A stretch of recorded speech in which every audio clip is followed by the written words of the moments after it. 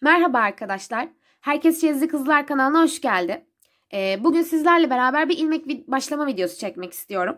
Ee, çektiğim en sonki atkı videosundan sonra bunun da sizler için faydalı olacağını düşündüm. Bilmeyenler için de rahatça öğrenilsin diye.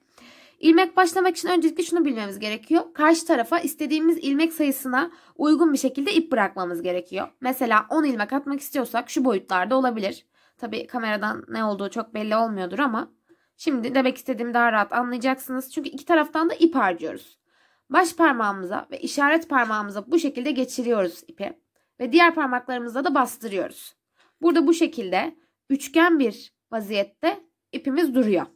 Bu vaziyetinde üzerinde şöyle bir gerginlik oluşsun ki rahat rahat ilmeklerimizi alabilelim. Böyle buradan geliyoruz.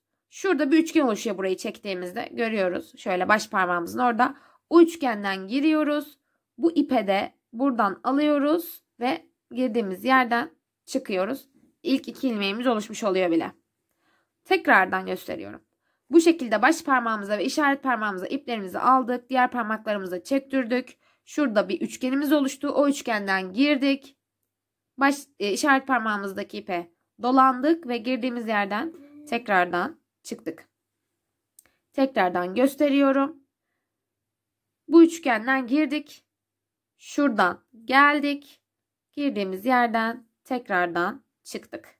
Şimdi şöyle demek istediğim şuydu. Bu şekilde harcarken şu karşıya bıraktığımız ilmek, şu da bizim elimizdeki ip. Hem buradan ilmek alıyoruz, ip alıyoruz hem de buradan alıyoruz. Yani iki taraftan da harcamış oluyoruz. Umarım anlamışsınızdır. Şöyle tekrardan başlamayı göstereyim ben. Hatta bunu çıkarıp ki bu sefer mantığı oturmuş bir şekilde ilerlesin. Mesela şöyle bir ilmek bırakıyorum. Çünkü ben mesela 10 ilmek atmak istiyorum. Ona göre ipimi bırakıyorum diyelim. Şöyle baş parmağıma ve işaret parmağıma aldım ipimi. Diğer parmaklarımla da çöktürüyorum. Burayı böyle üçgen bir şekilde gördüm. Burayı gergin bir şekilde bıraktım. Rahat ilmeklerimi alabilmek için. Geldim. Buradan girdim. Şuradan aldım ipimi ve tekrar girdiğim yerden, ilk girdiğim yerden çıktım. İplerimi aldım. Baş parmağım ve işaret parmağıma diğer parmaklarımla bastırdım.